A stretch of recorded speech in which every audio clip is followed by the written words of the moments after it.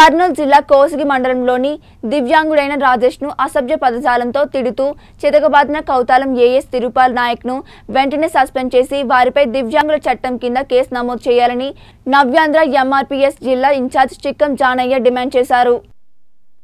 కర్నూలు జిల్లా కోసిగిలో మూడో వార్డుకు చెందిన దివ్యాంగుడైన రాజేష్ను నవ్యాంధ్ర ఎంఆర్పీఎస్ నాయకులు ఈ రోజు పరామర్శించారు. దాడికి గల కారణాలను దివ్యాంగుడైన రాజేష్ను అడిగి తెలుసుకున్నారు. నేను ఎంఆర్పిఎస్ వాళ్ళ ఆదు నుంచి ఇక్కడ రావడం జరిగింది ఈరోజు. నేను మంగళవారంలో ఆ మండలం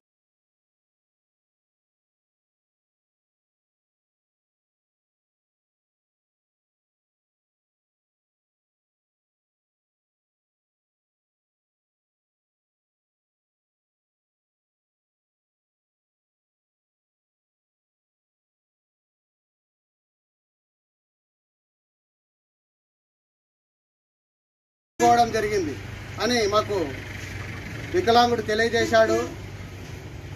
మరి బండి అమ్మిన వ్యక్తిని ఓ అక్కడ వెళ్ళి వాళ్ళ ఇంటి దగ్గర వెతికినా వాళ్ళ చుట్టాలకి ఆయనకి ఫోన్ చేసి కనుక్కుంటే ఆయన మైగ్రేట్ అయిపోయినాడు సుగ్గికి వెళ్ళినాడని తెలిసింది. మరి సుగ్గి నుంచి నేను రాలేనని ఆయన చెప్పడం జరిగింది. ఈ విషయం చెప్పడానికి కొంచెం పదిన్నర సమయంలో పోలీస్ స్టేషన్కి వెళ్ళడం జరిగిందని మాతో తెలియజేశాడు.